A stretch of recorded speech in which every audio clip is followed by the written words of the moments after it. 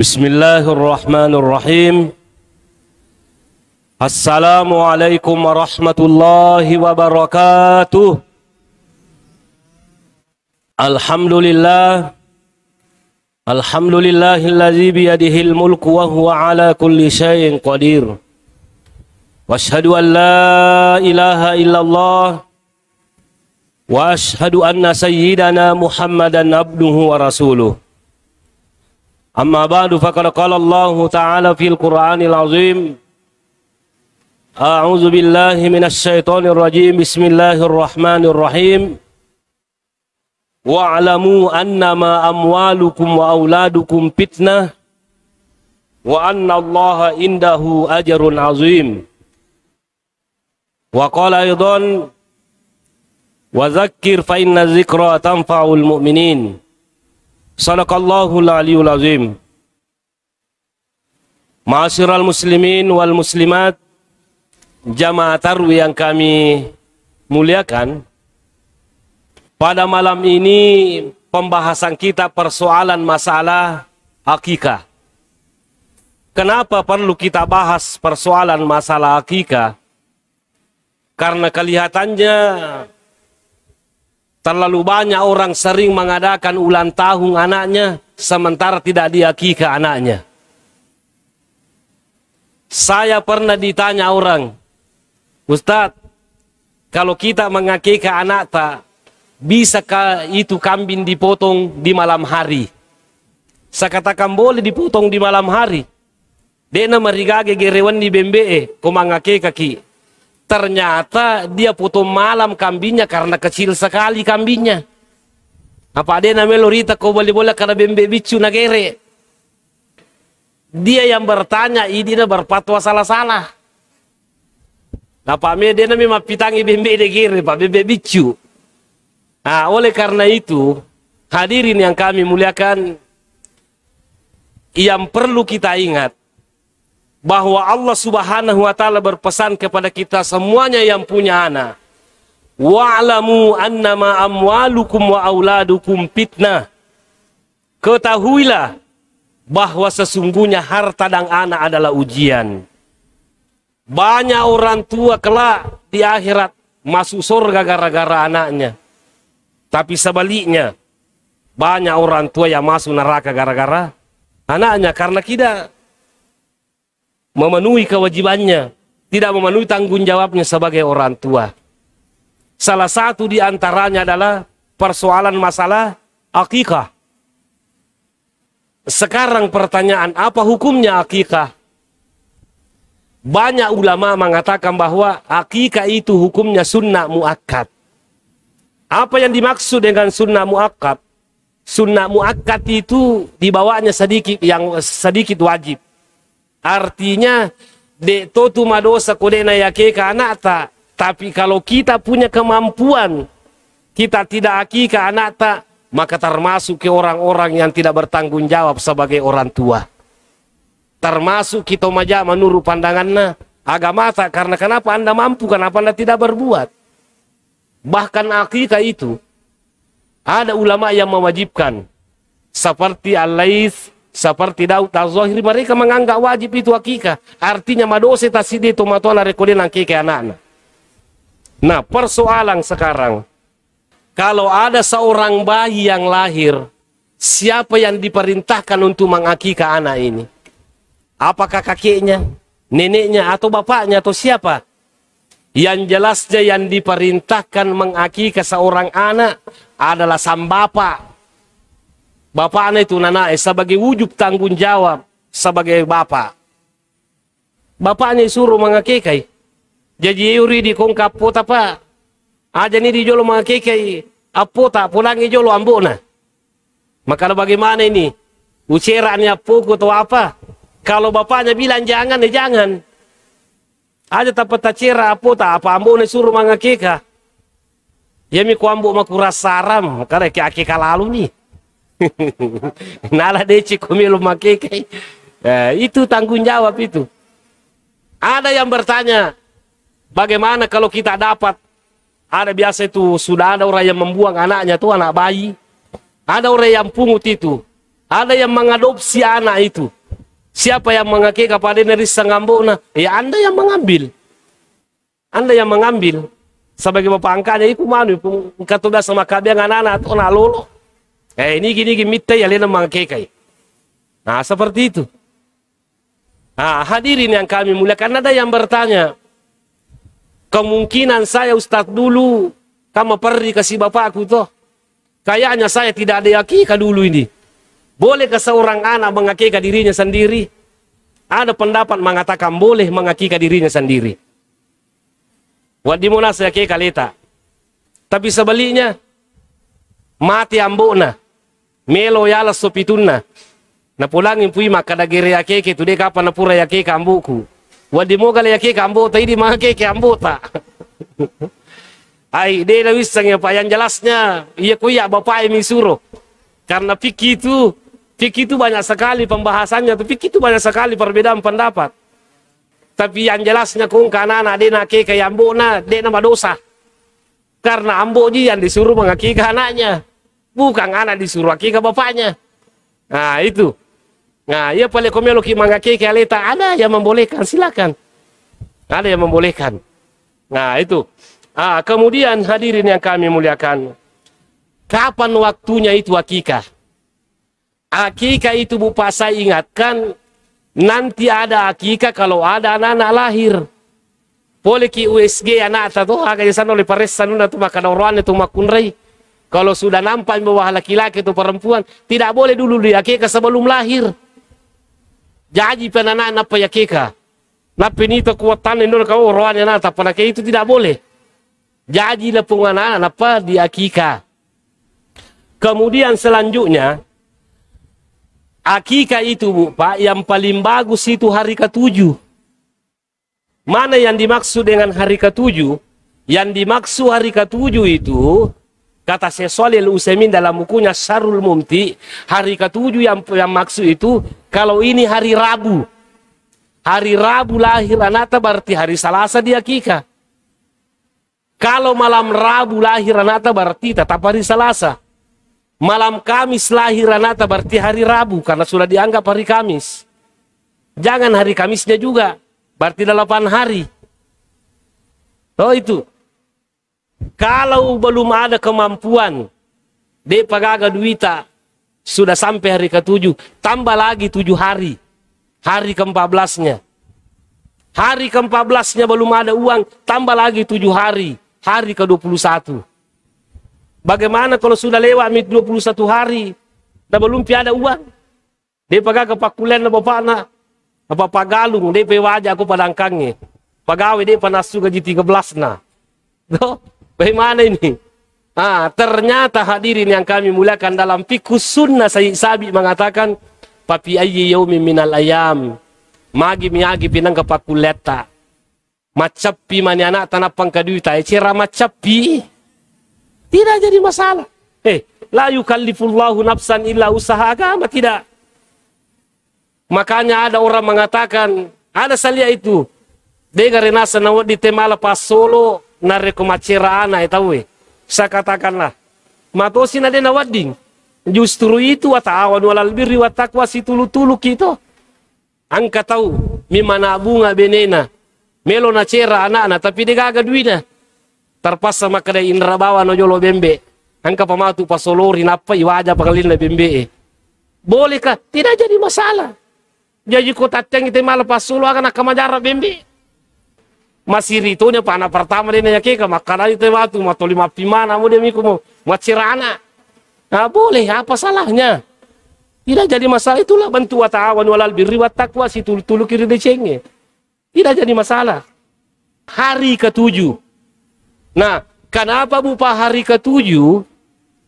Ternyata itu hari ketujuh bupa tujuh itu angka tujuh memang Allah senang dengan angka tujuh itu apa buktinya? Di dalam tafsir Al-Munir yang karangannya Syekh Nawawi Banten itu, ketika dia menafsirkan inna anzalnahu fi lailatul qadar, dia mengatakan bahwa kenapa banyak ulama mengatakan malam 27 Ramadan terjadi Lailatul Qadar gara-gara angka 7 ini yang disenangi oleh Allah. Gara-gara angka 7 yang napuji pun Allah Ta'ala. Apa buktinya angka 7 disenangi oleh Allah? Buktinya Bu Pae. Kalau kita pergi tawaf di Ka'bah, tujuh kali putaran tuh. Namo piko galata, deto nawadi ko 20. Kalau kita sa'i Safa Marwah tujuh, tujuh kali tuh. Namo magala kita itu nawan dia kata lupulo. Karena itu salah. Itu. Saya susul lagi tujuh. Berapa lapis tanah? Tujuh. Agapi, mas sumpah ki, tujuh anggota tubuh tak wajib sujud. Wajah tak, dua telapak tangan, lutut dua, kaki dua, tujuh. Makanya itu hari ketujuh. Senu-senuang yang hadirin yang kami muliakan. Itu hari ketujuh. Nah, bagaimana kalau ada perempuan keguguran? Angka makunre keguguran. Sepakat para ulama, kalau belum sampai empat bulan kandungannya perempuan, sepakat tidak diakikaji. Kenapa? Karena belum ada nyawanya. Belum ada ruhnya. Tapi kalau sudah lewat empat bulan, lima bulan, enam bulan, mata petaunya rogaga masuero, ada yang mengatakan di akikah, ada yang mengatakan tidak. Ini pilih kata puji.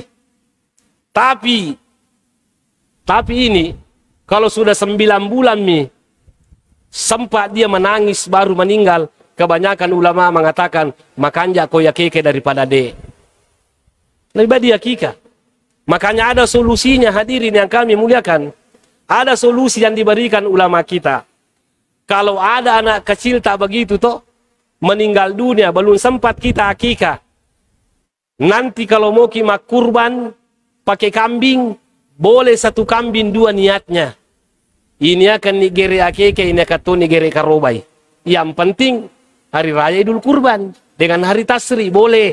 Itu pendapatnya golongan Hana, Hanabila. Ah, kemudian hadirin yang kami muliakan, selanjutnya keutamaannya Kenapa sebenarnya kita disuruh akikah? Apa manfaatnya? Nah, Rasulullah Sallallahu Alaihi Wasallam mengatakan, "Kullu mauludin rahinatun bi akikatihi." Setiap anak itu tergadai dengan akikahnya. Apa maksudnya tergadai? Ada tiga pendapat ini. Maksudnya anak itu tergadai artinya seorang ayah dianggap menjaga anaknya, dianggap berbuat baik kepada anaknya, setelah dia mengakika anaknya. Namu tolu mangulan tahu ki kode takiki anak tatanya toma toma kanja. Itu. Namu tolu tama kiko kepsi. Iya. Karena banyak selalu ya orang selalu masuk ulang tahun di sana. Kemudian apa pendapatnya apa yang dimaksud dengan rahina? Yang dimaksud dengan rahina bupa kata Imam Ahmad bin Hambal anak itu tergadai artinya seandainya anak itu meninggal dunia di masa kecilnya, anak itu akan memberikan syafaat kepada orang tuanya setelah dia diakikah waktu kecilnya. Karena ternyata itu bukan anak bicu ya. Kalau ada anak kecil meninggal dunia itu disuruh masuk surga. Eh matamu ke surga. Apa ada itu kagak dosamu. Nah anak ini mengatakan eh, saya tidak mau dulu masuk surga. Si bawa pak bapakku, si bawa emakku mata masuk surga. Jadi anak itu ditanya, kamu sudah diakikah atau tidak? Kalau sudah diakikah dikasih tahu, lo musapa bapak si bamamu mutama ke si bawa. Tapi kau dia tak kike anak tak, itana i poramu ko yakika kada de. Maka dai ita mabano suruh aja nemu jampang ma si bapak, pada itu na jampang ku biasa. Itu. Itu maksudnya syafaat. Memberi syafaat itu anak. Itu. Sehingga itu perlu diakikah. Nah, apa maksudnya Bu Parahina tergadai? Ada yang mengatakan tidak bisa dicukur anak-anak dan tidak bisa diberi nama kecuali sudah diakikah. Itu pendapatnya tentang masalah anak tergadai. Ah, kemudian hadirin yang kami muliakan, selanjutnya ada yang bertanya, kalau laki-laki berapa ekor kambing? Kalau laki-laki anak tak dua ekor kambing, kalau perempuan satu kambing. Tapi bagaimana kalau satu kambing kita mampu laki-laki anak tak? Boleh atau tidak? Satu tidak? Jawabannya boleh. Boleh ji. Cuma lebih abdalnya memang dua karena Nabi mengatakan anil gulami satani mutakafi atani. Artinya kalau anak laki-laki, anak dua ekor kambing. Tapi ternyata dalam implementasinya itu Rasulullah Sallallahu Alaihi Wasallam mengakikah cucunya Hasan dengan Hussein kan dua ekor kambing ji. Berarti tasidin nami. Jadi ada ulama yang mengatakan bahwa ya Quran ya anak tanah sidi mi bembe tulle mali itu sah. Cuma ya mero ya dewa tujuh ibu pak terus terang saya kasih tahu ki. Ada yang tanya saya Ustaz, satu jika mampuanku kambing. Jika kada kaya na tu pale pasti di tomi tulle. Ternyata satu kambing dia beli, tapi ternyata mapa dobe berhadiah. Dobe berhadiah itu sepeda listrik hadiahnya. Kipas angin hadiahnya, televisi hadiahnya. Napa sih di bembe nali. Maka nak itu mapa dobe berhadiah. Ternyata mencaji persoalan. Iya bembe mencaji persoalan. Mupa raja rumah padobe berhadiah napa malupi bembe. Itu kambing dulu empat tujuh. Ini persoalan umat Islam. Coba kita lihat. Napa? Ay, mana jama makan leleng nah, itu di. Kemudian selanjutnya, syaratnya itu kambing bupa. Boleh gak kalau kita memotong sapi, mengakui kaki pakai sapi?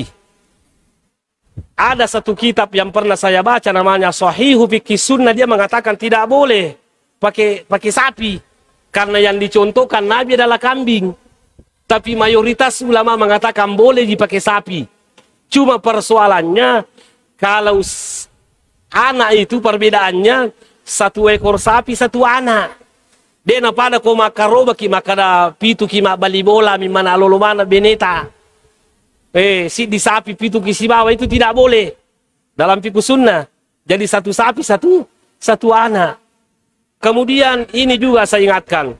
Kalau mengakai kaki pakai kambing itu ada umurnya, jangan sembarang. Beya sena bawa cuki nagiri. Diculadai. Itu umurnya satu tahun lebih kambing itu. Satu tahun. Ya kok sapi dua taupa. Wah bicu baka. Lagi rawani. Pami makali cubu. ya tahu. Satu tahun itu. Itu persyaratan itu. Boleh ke pakai ayam, tidak boleh pakai ayam.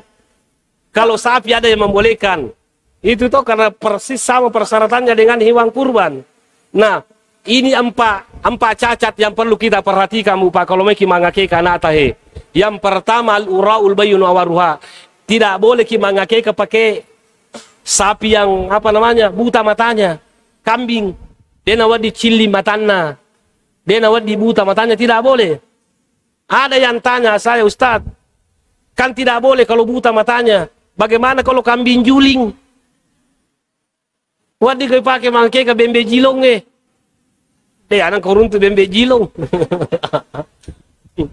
Sembaran aku tanah tebu pak. Mentah-mentah kita selalu masuk di apa namanya di radio sosial kalau subuh Jumat selalu sembarang menel Ustaz so demo mangake pakai bembe jilong. Kakak ada anak korun tu bembe jilong. Ya kau pak kampinan kamu. Ah, ini ini persoalan umat Islam. Yang jelasnya aja na salah-salah matana. Toh, yang bagus karena kita mau persembahkan ini. Nah, ya apalagi al-maridul bayunu marduha jangan dipakai kalau sakit di. Eh, malasi dia nawading. Al-arjaul bayuna rojuha tidak boleh juga kalau pincang. Kepang ini nawading. Tapi ada istilahnya Nabi udah bilang kece, kepacede, wadimo. Bisa ji kalau kece. Ke pasata bi magalabo kutu magulu channe masigi agung sapanan rewe. Boleh ji. Yang tidak boleh itu kok kepasi sa dulu lejo kae. Kambing istro. Ah, lena wading. Tidak boleh itu Pak, tidak boleh. Nah, bagaimana umpamanya ada orang sudah beli kambing. Kuraki mali bembe itu. Nah, ya si orang yang kutulang kato lapui. Polo mana ngajena. Kata ulama kita terutama Ibnu Taimiyah dalam bukunya Majmu'atul Fatawa, ya ko kecelakaan wadi mo. Ya mina salah kalau kimali ko pa belum ya kalau kega kepang ko pa masempo sempoi. Ah itu tidak boleh manas sama tungkel lo mali kepang. Kalau umpamanya tidak sengaja tuh kecelakaan boleh mi. Apalagi kalau dia nagaga dui pakai sile ya agak orang. Tatala tuh undangannya. Nah itu. Kemudian Bu Pak juga ini samuhum apa agak panjang sedikit. Ah, itu itu hewan termasuk al hasilatul latila tungki tidak boleh juga kalau kalau apa namanya kurus sekali itu kambing. Aja nama lukulada tidak boleh. Nah, termasuk juga Bupa yang perlu kita ingat itu eh angka sesanu-sanuang atau kalau inasio robembe eh dalam al-fiqhul islami wa adillatuhu maka anja kode na tapi urin narai malupu memang natang kita tata tabukuna sanu-sanuang agar rebarero na nalea kekero tahang ibukuna namu abu motor deto na polo sanu-sanuangang iya ko inasui pacan-caningi wi Magani pacani-caningi, bare macaningi anata. Canti anata, tampan anata. Seperti itu. Kemudian yang perlu juga kita perhatikan, ya anak ibu pato dicukur itu anak-anak. Digundul itu anak-anak. Digundul itu anak, baru tim ditimbang rambutnya. Peko carane timba timbang siagi-siagi geram beratnya itu rambut. Eh si kuatoro gerang ulawa tasumbangan. Kolima geram tanah na ulun lebu bilu ane rola anak bila simula jajinna itu 5 gram juga emas kita sumbangkan. Kalau kita tidak sanggup emas, pakai perak. Eh, pakai perak ya sumbangan di. Eh, kau di juta lina ulawang di gram berarti 5 juta. Kau 5 gram. Ya kau salah kami tak pakai berarti kau 5 gram eh. Kali 10 nih sabu umpamanya di gram berarti 50 misat bu. Tapi kau pak bulawang aja tuh sina. Pak bulawang bapak nak pesalah karena sumbangan. Nah, jangan. Nah, dan termasuk juga kalau ada anak kecil itu Bu Pak meninggal kasih nama di kasih nama nama-nama yang baik. Nama-nama yang baik. Nah, itu Nabi ta kega nayasan kega nasa makanja. Ahabul asma ila Allah wa Abdurrahman. Asak kami nama kanja anak puji pun Allah Ta'ala tu Pak Koroni Abdullah Sibawa Abdurrahman. Iya nala desing Abdullah saku. Bukan Wahab nama saya itu. Wahab itu nama bapak saya. Banyak yang panggil saya Abdul Wahab. Wahab itu nama bapak saya. Coba bicara lagi kate haba pernah mau kate di situ mas sangang Itu. Nama saya Abdullah bukan Wahab. Ya, tapi orang bisa panggil Abdul Wahab. Ya, taruh nih di. Nah, tali ngasang anak tama kanja. Apa ternyata ia matu yolo tama suruga makanja asan na. Ia baja asan namu pas sumpah kuimun rito kuiku. Nama jasammu, dia suruh ke jasammu. Tumato riolo makanja mana ngasan na to. La salama bare salama i. Laupa bare maupa i. Ni gapi. Lama pa. Kate ni. Lama pa. iya, la dalle. Ambo dalle. Itu bagus namanya orang. Daripada sekarang makan zaman ke sana yang kali tapi dia sekena kebetulannya. Wah, itu. Ah, hadirin yang kami muliakan saya kira inilah yang jelasnya kita berharap kepada Allah Subhanahu wa taala kalau malam ini malam terakhir buka Ramadan, kita berdoa meminta kepada Allah mudah-mudahan segala amal ibadah kita dalam bulan Ramadan ini sampai tarawita, baca kurata, sampai witrita, mudah-mudahan terima pun Allah Ta'ala nawat dingin mencari sabah tu salama alinu salama akhirah insyaallah ta'ala subhanakallahu bihamdik wasyhadu an la ilaha illa anta wastaghfiruka wa atubu ilaik wa sallallahu ala sayyidina Muhammad wa ala alihi wasallam. Walhamdulillahirabbil alamin. Assalamualaikum warahmatullahi wabarakatuh.